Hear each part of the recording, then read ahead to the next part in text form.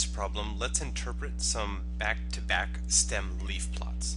So just as a reminder, what a stem leaf plot is representing is a root and sort of a leaf, well, stem and a leaf, for lack of a better uh, idea. So when you see a number like in this 18 row, you see the number 2 here for weekend, what that symbolizes is a root or a stem of 1 8 and a leaf of 2. So it represents the number 182. Essentially, it's a way to compensate without having to, to write down a bunch of numbers in the 180s without having to write out each one individually. So it kind of saves space and time and makes it a little bit easier to see some shapes. So this particular problem is about, or this uh, graph is money spent for parking fees on either the weekday or the weekend.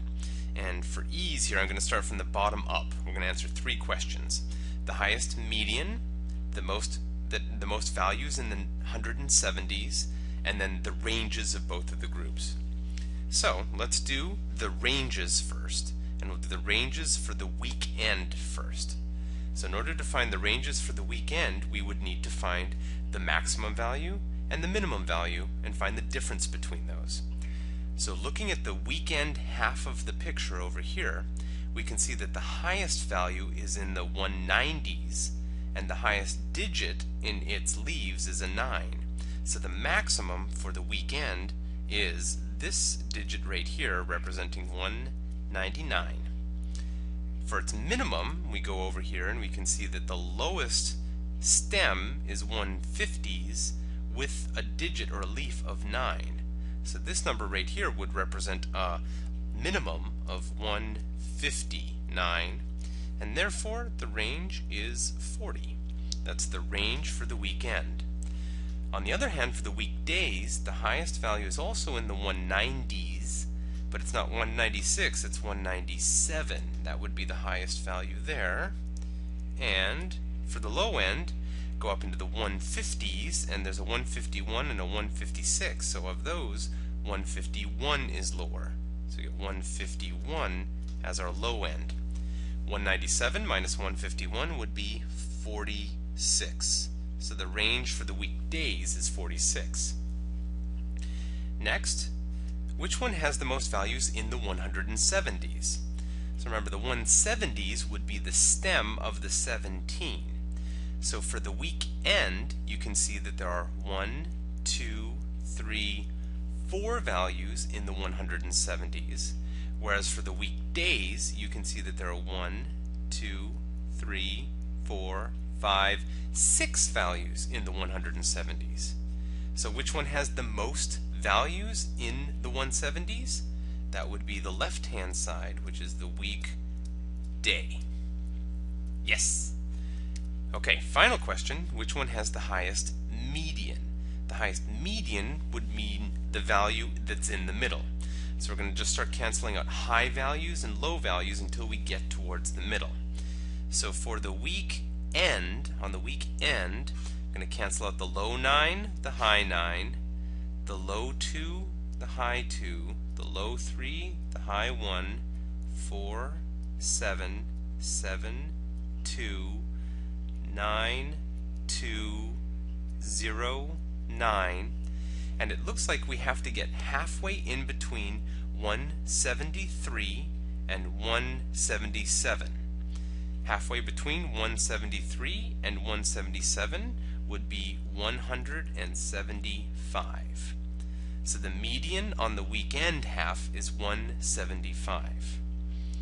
For the weekdays, high, low, high, low, high, low, high, low, high, low, high, 182, low, high, low, high, low.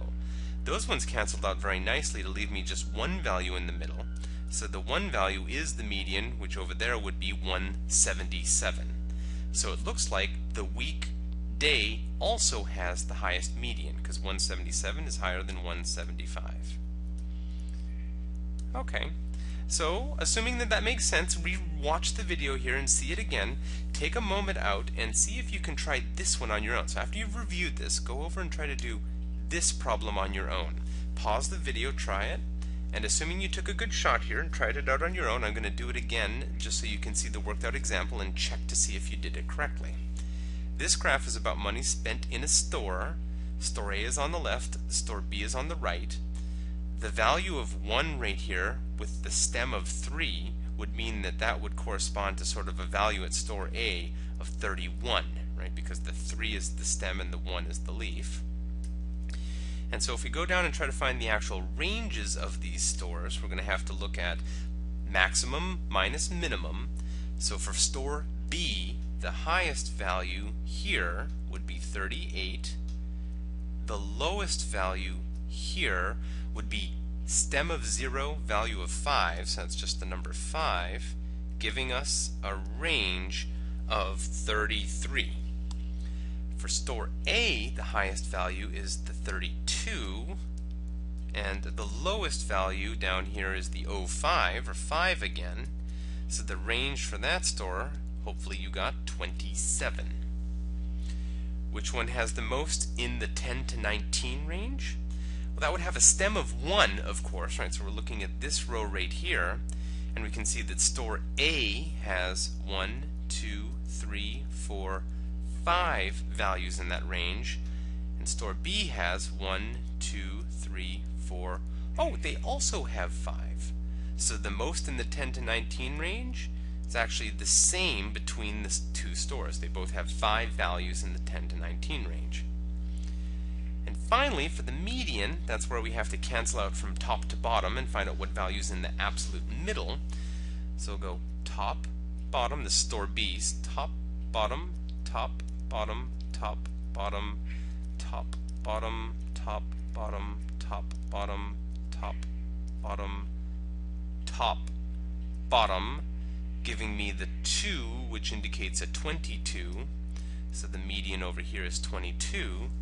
And on the left, for store A, we have a highest value of 32 and a lowest of 5. So top, bottom, top, bottom, top, bottom, top, bottom, top, bottom, top, bottom, and it looks like we have to get halfway between 22 and 21, and of course halfway between uh, 22 and 21 would be 21.5. Just add them together and divide by 2. But at any rate, it looks like store B has the highest median, so the answer here would be store